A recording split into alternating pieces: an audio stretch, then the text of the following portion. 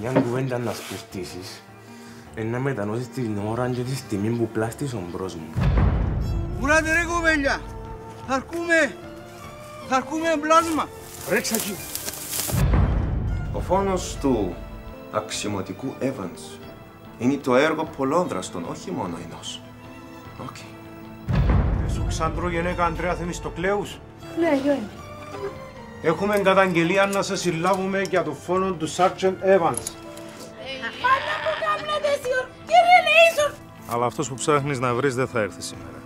Γιατί; Πού ξέρεις εσύ; Ποιος είσαι; Η ίδια η ξενού είπε μου πως ο Νίκαντρος δεν μπορεί να κάνει κοπελούθια στήρος. Τα πράγματα